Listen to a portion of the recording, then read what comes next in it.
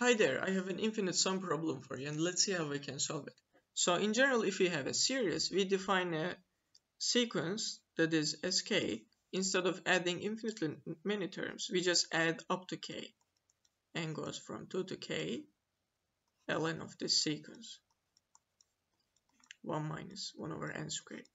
And I will try to find what is sk in general and if I take this sk limit as k goes to infinity, this will be equal to my sum.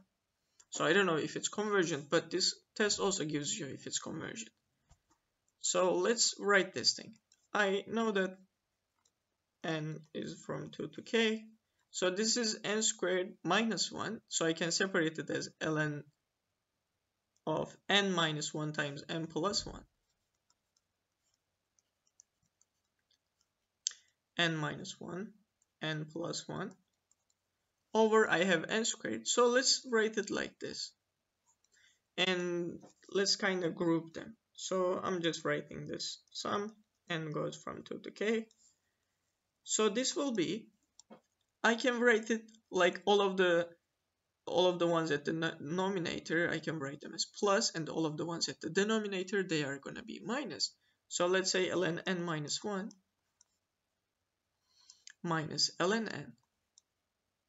And for this part, uh, so I wrote from small to big, so let's also write this part from small to big. So this will be minus ln n, and this will be plus ln plus 1. And I don't really need to do this, but let's also group these things. So I, I have two terms here and two terms here. Let's write them as two different sums. Here, I can do that because I know that this is just a finite sum. If it was infinite sum, I may, uh, uh, it's not guaranteed that I can do this. So I have n from 2 to k, ln n minus 1, minus ln n, and plus n goes from 2 to k, minus ln n, plus ln plus 1. And now let's open all terms. So I'm first writing this first sum in this parenthesis. So if I put n is equal to 2, this will be ln1 minus ln2. If I put n is equal to 2, sorry, I already put 2. If I put 3, this will be plus ln2 minus ln3.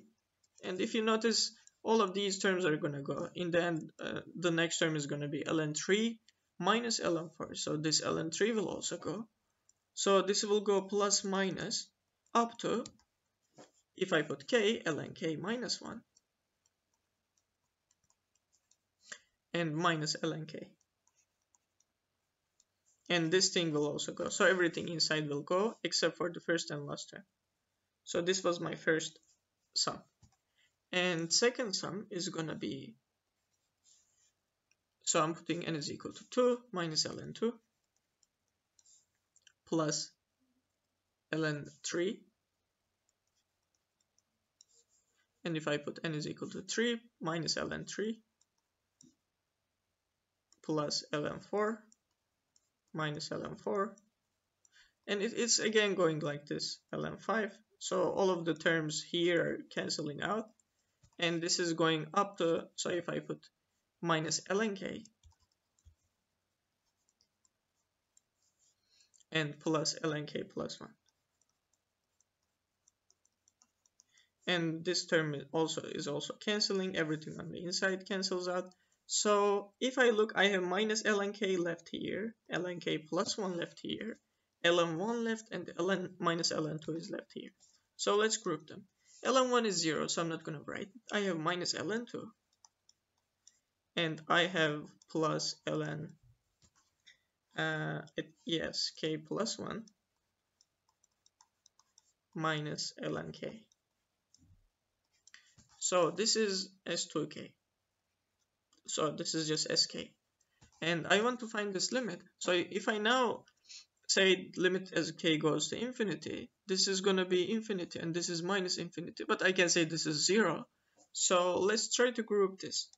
Uh, this is just a constant, so I keep it same. I know because of the properties of logarithm, I can group this, these things. So this is k plus 1 over k.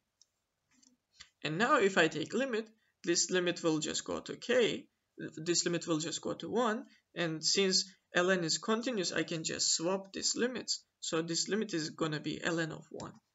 So limit as go, k goes to infinity as k. This thing is just a constant, so this is minus ln2, and this is going to converge to ln of 1. And ln1 is 0, so this limit is going to be equal to uh, minus ln2, which is equal to our sum, and that's the answer.